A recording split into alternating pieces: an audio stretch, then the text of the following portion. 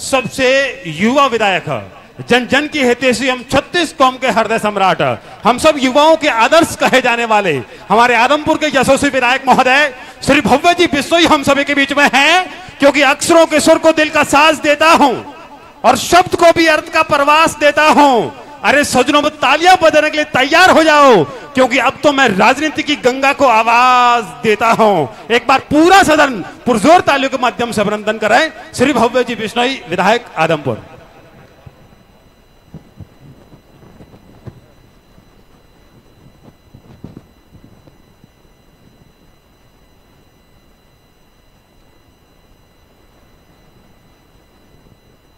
बोलो गुरु जम्भेश्वर महाराज की बोलो, विष्णु भगवान की परम श्रद्धेय संत भागीरथ जी शास्त्री, आदरणीय संत राजूराम जी, अखिल भारतीय बिश्नोई महासभा के राष्ट्रीय अध्यक्ष श्री देवेंद्र बुढ़िया जी, श्री सुभाष देड़ू जी, वरिष्ठ उप प्रधान पतराम लोमरोड जी, वरिष्ठ उप प्रधान सोम प्रकाश सिंगड़ जी, वरिष्ठ उप प्रधान रूपाराम कालीराणा जी, महासचिव। राम स्वरूप धारणिया जी, कोषाध्यक्ष। वेद प्रकाश कड़वासरा जी, जयकिशन सारण जी। अखिल भारतीय बिश्नोई युवा मोर्चा के राष्ट्रीय अध्यक्ष। भाई जयसुख सिंगड़ जी हाल ही में संपन्न हुए, जिन्होंने एशियन गेम्स के अंदर कांस्य पदक को जीत कर जीत कर हमारे समाज का नाम रोशन करने का काम किया। बहन किरण गुदारा जी, भाई सोमराज जी आईएएस मनोज जी टोहाना मनोहर लाल जी कड़वासरा, गोवर्धन जी बांगड़वा जी, लादूराम जी भादू, श्याम जी खिचड़ डॉक्टर राम प्रकाश जी मंचा सिंह, सभी युवाओं के प्रेरणा स्रोत, सम्मानित साथीगण, और हमारे समक्ष विराजे हुए बहुत ही मान और सम्मान के योग्य बुज़ुर्गों, मातृशक्ति बहनों और भाइयों। मुक्ति धाम मुकाम की पवित्र धरा को नमन करते हुए, संत समाज के चरणों में नमन करते हुए मैं आप सभी का यहाँ पधारने पर और मुझे इतना मान सम्मान देने पर हाथ जोड़कर धन्यवाद करता हूँ। मुझे खबर मिली कि हाल ही में ही अखिल भारतीय बिश्नोई युवा मोर्चा के नई टीम आयोजित हुई है, संगठित हुई है। तो सबसे पहले तो इस मंच के माध्यम से मैं सभी नवनियुक्त पदाधिकारियों को हार्दिक बधाई देता हूँ, उनका, उनको अभिनंदन करता हूँ। और उनसे प्रार्थना करता हूँ कि आपने केवल पद लेना नहीं है, बल्कि समाज को काम देना है। आप सभी के कंधों पर नई जिम्मेदारियाँ आ गई है। आप सभी से समाज की उम्मीदें अपेक्षाएँ बढ़ गई हैं। तो पूरी मेहनत के साथ, निष्ठा और ईमानदारी के साथ अपनी जिम्मेदारियों को निभाएँ, ऐसी मेरी आपसे प्रार्थना है। पद की गरिमा क्या होती है? पद की प्रतिष्ठा क्या होती है? पद की परिभाषा क्या होती है? इसे देवेंद्र बूढ़िया जी से बेहतर कौन जानता है? जब से इन्होंने अखिल भारतीय बिश्नोई महासभा की अध्यक्षता संभाली है। ऐसा लगता है कि हमारे समाज में विकास कार्यों की नदियाँ बहने लगी है।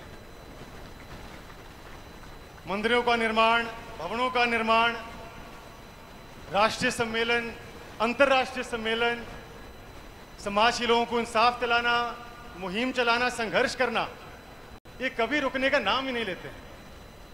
और बुढ़िया जी तो कहा करते हैं कि वैसे तो मेरी उम्र तीस साल की है। बाकी मेरा तजुर्बा है, लोगों का प्यार है। और उनकी बात सही भी है, क्योंकि जिस रफ्तार के साथ, जिस जज्बे के साथ ये काम करते हैं, कौन मना कर सकता है कि नौजवानों से पीछे है? तो साथियों, इस उम्र में यदि देवेंद्र जी इतनी मेहनत कर सकते हैं तो आप और हम तो नौजवान हैं। तो पूरी ईमानदारी के साथ और संगठित होकर हम काम करें, ऐसी मेरी आपसे प्रार्थना है। क्योंकि अब आपका समय, आपकी ऊर्जा, आपकी क्षमता केवल आपके और आपके परिवार तक सीमित नहीं रहनी चाहिए, बल्कि समाज के प्रति, जरूरतमंदों के प्रति समर्पित होनी चाहिए। इसी आशा और उम्मीद के साथ आज मैं आपके बीच में आया मैं भी हरियाणा के अंदर सबसे युवा विधायक हूँ और इस नाते से भी लोगों की नज़रों में मुझसे भी अपेक्षाएँ और उम्मीदें बढ़ जाती हैं। लोग कहा करते हैं कि मैं भी देखा कि भव्य बोले कुकर है, आदमपुर खातर के काम करे है, के गुड़ खिलावे भजनलाल को पोतो, कुलदीप को छोरो। घर को, समाज को, देश को नाम रोशन कर सके कि किमी को नहीं पल गए तो इस प्रकार की बातें लोग कहते हैं और युवा होने के नाते लोगों के मन में, उनकी उनकी नज़रों में हमसे अपेक्षाएँ बढ़ जाती हैं और बढ़नी भी चाहिए। क्योंकि आप और हम में एक अलग प्रकार की ऊर्जा होती है। कुछ कर दिखाने का जज्बा होता है। मेरा ऐसा मानना है साथियों कि आप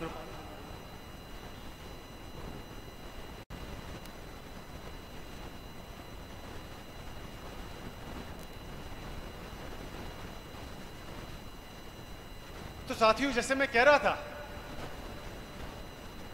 कि आप और हम इस ऊर्जा को, इस सोच को, इस जज्बे को किस प्रकार से अपने सामाजिक और व्यवसायिक जीवन में उतारते हैं, ये और आप और हम पर निर्भर होता है। गुरु जम्बेश्वर महाराज भी युवावस्था में थे। महज चौंतीस वर्ष के थे, जब उन्होंने विष्णुई समाज की उनतीस नियमों के माध्यम से नींव रखी थी। शहीद माता अमृता देवी जी भी युवावस्था में थी, जब उन्होंने अपना महान बलिदान दिया था। और पिछले सदी में बीरबल जी खींचड़ गंगाराम जी ईश्वरवाल निहाचंद जी धारणिया जैसे जी जैसे महान आत्माओं ने भी हमारे समाज में जन्म लिया है, जिन्होंने जीवों की रक्षा करने के लिए, पर्यावरण की रक्षा करने के लिए अपने प्राणों की आहुति देने का काम किया। हमें इनसे प्रेरणा लेनी है। मैं ये नहीं कह रहा कि आपको अपनी जान की कुर्बानी देनी है। मेरे कहने का उद्देश्य ये है कि आप और हम भाग्यशाली हैं कि हमें उनतीस नियमों के रूप में आदर्श और सिद्धांत विरासत में मिली है। आज से साढ़े पाँच सौ साल पहले गुरु जम्बेश्वर महाराज ने पर्यावरण संरक्षण की दूरदर्शी सोच को लेकर पूरी मानवता को एक वैचारिक क्रांति देने का काम किया था। और मेरा ऐसा मानना है कि यदि हम जाम्बोजी महाराज के दिखाए हुए रास्ते पर चलने लगे और सही मायनों में उनतीस नियमों को अपने जीवन में धारण करने का काम करेंगे तो हम जीवन में कभी भटक नहीं सकते, कभी किसी का बुरा नहीं कर सकते। और एक अच्छा सिद्धांतवादी समृद्ध जीवन व्यतीत कर सकते मुझसे पहले सभी वक्ताओं ने बहुत ही बेहतरीन ढंग से अपनी बातों को आपके समक्ष रखा।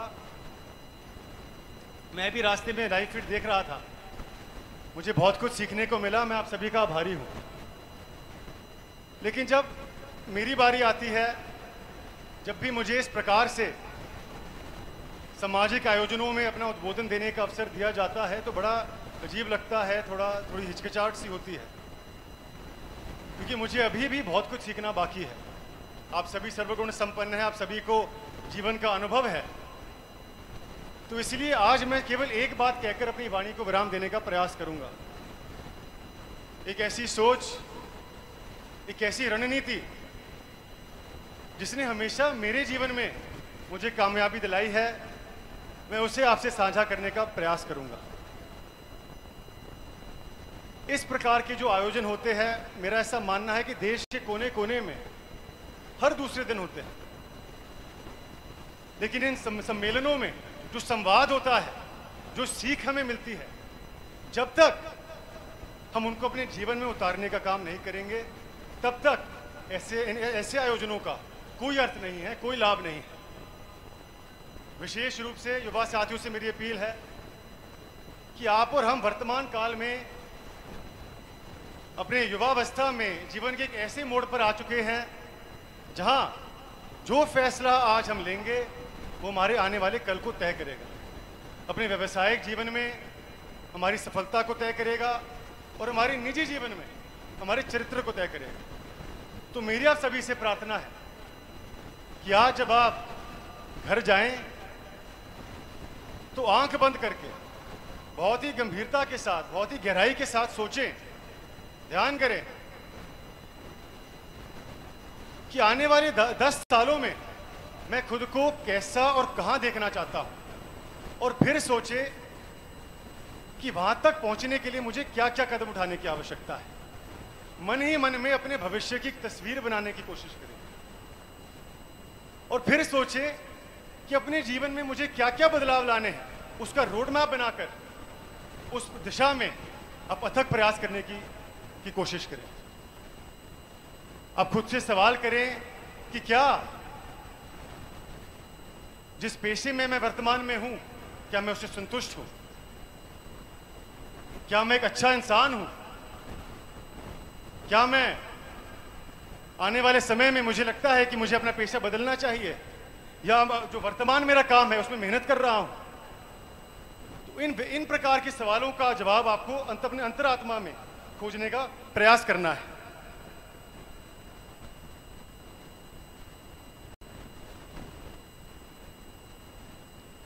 थोड़ा गला खराब है, उसके लिए मैं माफ़ी चाहता हूँ। तो जैसा मैं कह रहा था, खुद से सवाल करें आप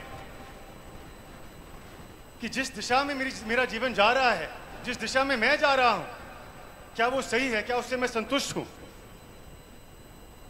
क्या मुझे अपनी आदतों को सुधारने की आवश्यकता है? क्या मेरी सोच सकारात्मक है?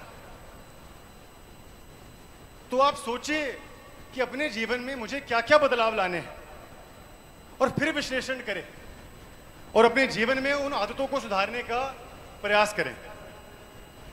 और साथ ही विफलताओं से कभी घबराना नहीं है।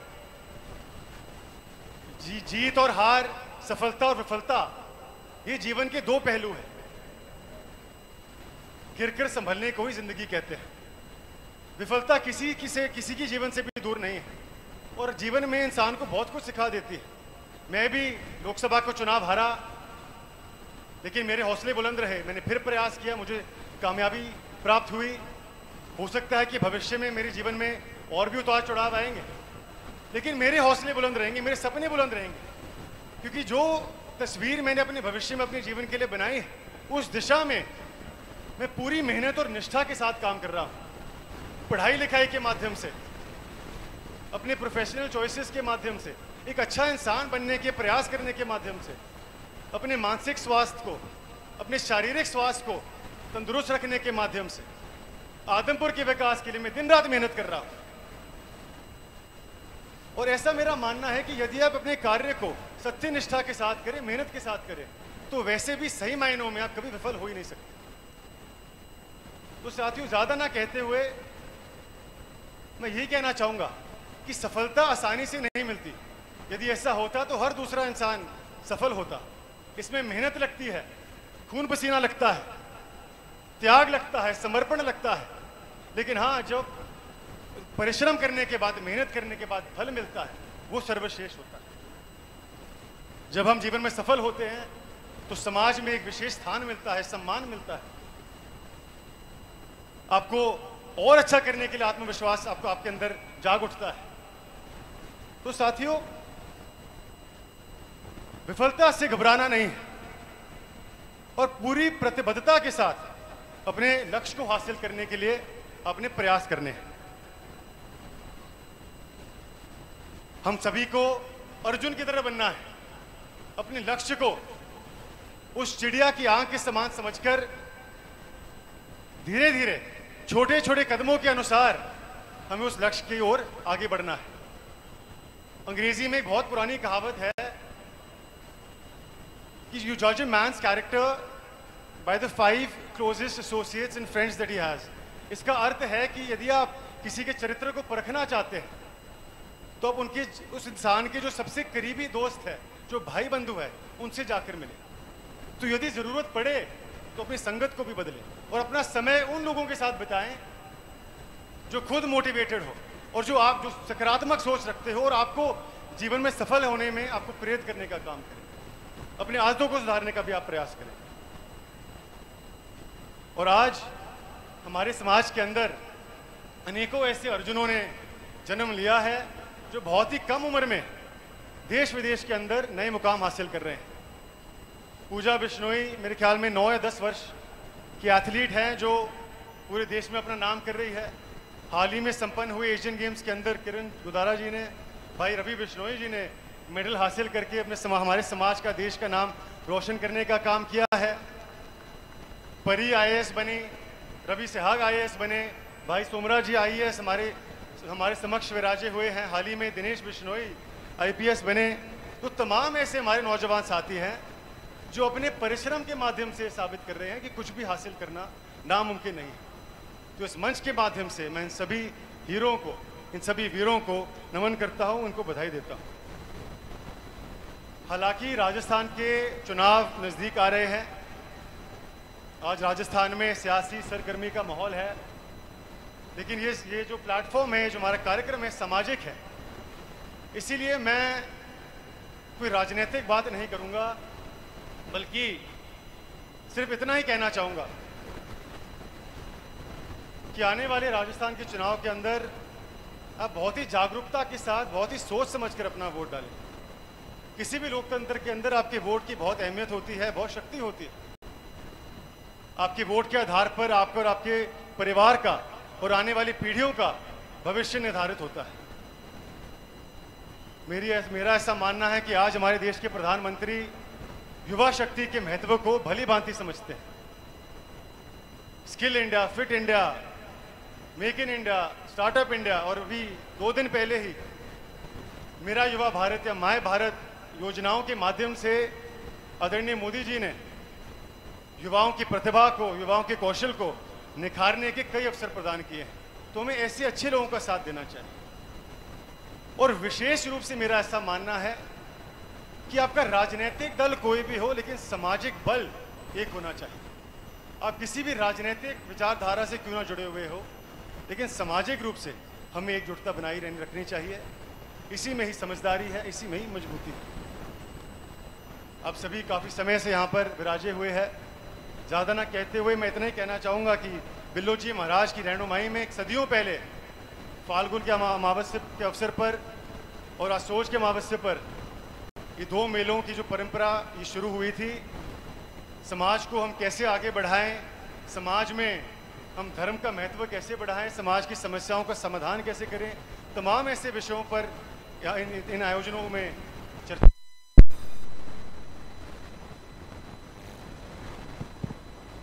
और पूरे देश भर से विष्णोई समाज के लोग यहाँ एकत्रित होते हैं एक दूसरे से मिलते हैं ध्यान करते हैं धोख लगाते हैं। समाज को इन सभी आयोजनों से मजबूती मिलती है। ऐसे पहलों को मैं सराहता हूँ उनका स्वागत करता हूँ और पुनः आप सभी से प्रार्थना करता हूँ। कि जो जो सीख हमें इन सम्मेलनों से इन आयोजनों से मिलती है इनको विशेष रूप से सही मायनों में अपने जीवन में उतारने का प्रयास करें। उन्हें मैं अखिल भारतीय बिश्नोई युवा मोर्चा के सभी पदाधिकारियों का साथियों का इस भव्य कार्यक्रम का आयोजन करने के लिए बधाई देता हूँ। इनसे इन, इनको नव इनकी नवनियुक्ति की इनको बधाई देता हूँ। आशा और उम्मीद करता हूँ कि आपका और हमारा संपर्क भविष्य में बना रहेगा और विश्वास दिलाता हूँ कि मेरी तरफ़ से जो भी छोटी कोशिशें हो सकेंगी, मैं हर कदम पर, हर मोड़ पर समाज से काम आता रहूँगा। आप सभी ने हमेशा स्वर्गीय युग पुरुष बिश्नोई रतन चौधरी भजनाल जी का साथ दिया। हमेशा बिश्नोई रतन चौधरी कुलदीप बिश्नोई जी पर आशीर्वाद बनाए रखा और आज इस प्रकार से आप सभी ने मुझे आशीर्वाद दिया। मैं कभी भुला नहीं सकता। जाने जाने में मुझसे कोई भूल चूक हुई हो तो भरी सभा में आपसे क्षमा भी चाहता हूँ। आप सभी का बहुत बहुत धन्यवाद आभार। जय हिंद जय भारत।